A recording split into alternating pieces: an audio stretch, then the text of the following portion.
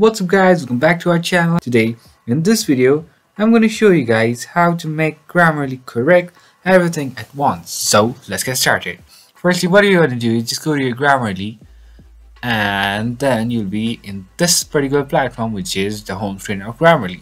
Then just go to this new option over here and then uh, make your text ready for correction. Let's say I have this text over here.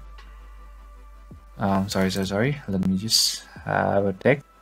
So guys let me have a text over here like this.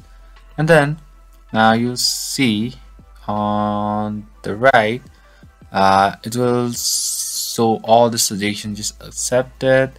Then choose this choose this accept choose this choose this accept so that's how you're going to do the corrections directly in Grammarly. So thank you for watching our video guys. If you like our video, please leave a like and do not forget to subscribe our channel and also hit the bell icon so you never miss an update from us.